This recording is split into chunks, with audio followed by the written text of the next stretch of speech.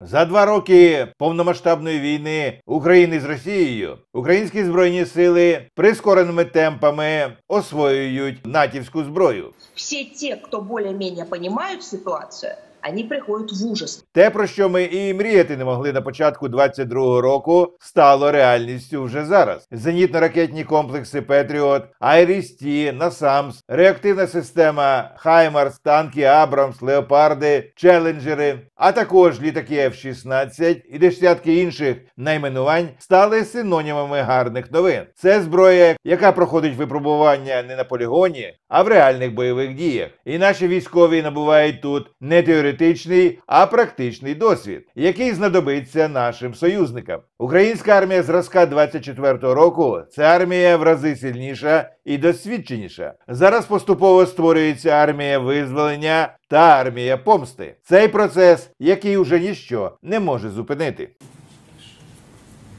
Знаєш, я хотів би пригадати, е, ну спочатку сказати не про військових, а про цивільних, і не про наших цивільних, а про, про наших союзників. Я пригадую, як е, в 2014 році Джон Гербст, який досить часто з'являється і у нас в ефірах, і на вашому каналі, в принципі, в Україні. От він сказав таку фразу, про яку е, яка можливо тоді, в 2014 році, е, пройшла непомітно, прозвучала непомітною. Він сказав так, що вторгнення Росії до України це був 14 рік. Вторгнення Росії до України е, може перерости у війну, яка триватиме і 10, і може 20 років. Це він сказав в 2014 році. І тоді цю фразу просто не сприйняли як реальність. Навіть 10 років тоді казалось таким е, нереальним терміном. А тут же, знаєш, тут же 10 років пройшло от 10 кілька років днів і тому. дні. І, да, і ми розуміємо, що е, при такому підході, е, при такому підході, коли нас зброєю годують по краплі, е, то війна може тривати і 20 років. І я думаю, що більшість наших військових, знову ж таки, ті тих, які з'являються в ефірах українських каналів, вони зараз намагаються переконати е, в тому більшість населення України, яка напр- напряму не долучена до війни, просто психологічно готують до того, що е, ну ймовірно воювати доведеться всім.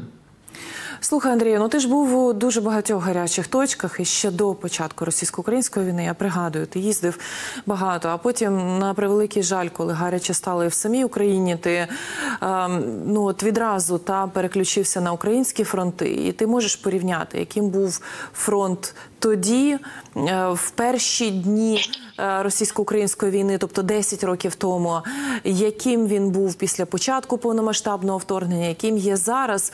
От для тебе ці 10 років, які вони, які трансформації, які зміни відбулися з фронтом, з нами, з тобою, врешті-решт. Е, Що ти можеш сказати про це? Знаєш, от в перші дні війни 2014 року не було ж фронту. Е, Це було таке е, дійсно гібридне вторгнення. Були такі неспокійні очаги. Ну, можливо, слов'янський він був найбільш таким неспокійним, такою неспокійною гарячою точкою. Але фронту ж спочатку не було. Е, Ми їздили по територіях, які Україна вже не контролювала, е, знімали. Ну, наприклад, я пам'ятаю, що під під Слов'янськ я вперше приїхав на- відрядження з Луганська, О, і де е, сепаратисти вже себе так активно проявляли, захоплюючи адмінбудівлі. Ну і в Донецьку також, і так далі.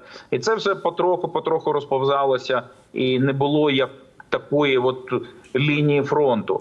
Е, Питання в тому, що е, зараз аналізуючи е, події 2014 року, я думаю, що ми припустилися багатьох помилок. Це був такий ланцюжок українських помилок, е, якби недотиснутих успіхів, які зрештою е, перетворились певним чином на невдачі.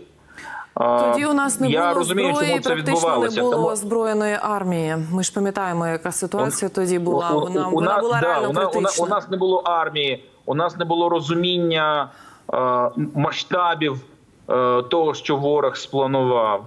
У, нас ну у нас не було багатьох компонентів, які б дозволяли нам е, діяти відповідно, швидко і не припускатися цих помилок. Ну але сталося так, як сталося, і тому зараз ми дійшли до ситуації, коли ми розуміємо, що ставки настільки високі, що питання вже є екзистенційним: буде Україна чи не буде. А для росіян, ну росіяни теж це знаєш, зводять до такої.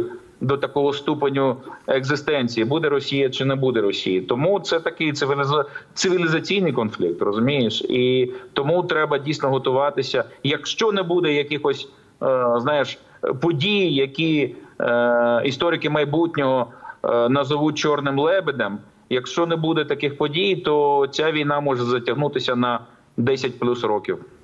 Які це можуть бути події? Ти про е, там е, що щось може статися з очільником, там диктатором російським, чи, чи, чи ще про щось? Ну, диви, дивись, дивись, от е, чи розуміли ми, що Пригожин піде, е, поведе своїх вагнерівців на Москву влітку минулого року? От шкода, так, не це довів, закінчилось нічим. Ну можливо, так, да. Але і, і те, що це.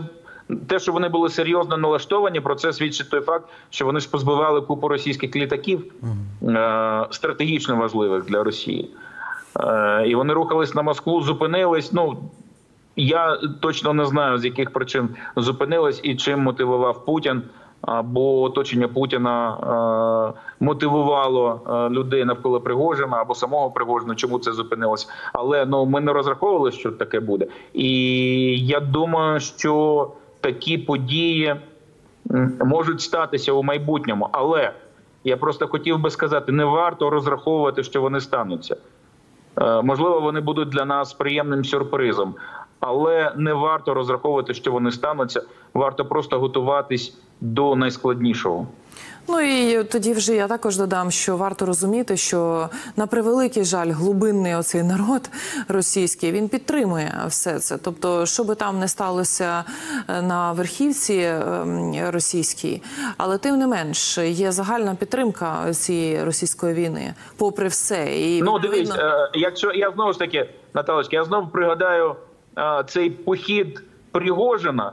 Е, Знаєш, е, е, вони ж і йшли, і їх підтримували люди, які були навколо. Тобто люди підтримують в Росії будь-кого, коли кого вони будуть вважати сильним. Розумієш, от йшов Пригожин на Москву, його підтримували. О, молодці, там щось квіти приносили, фотографувались і так далі. Переміг би Пригожин е, Путіна, наприклад. Е, Знову ж таки, весь російський народ, 80% росіян, сказали б так, молодець, ми жили під е, диктатурою, а зараз у нас буде свобода. Пригожин молодець, там і так далі. Тобто, ну е, це в принципі психологія російського народу. Вони з тим, кого вважають сильним, сильнішим.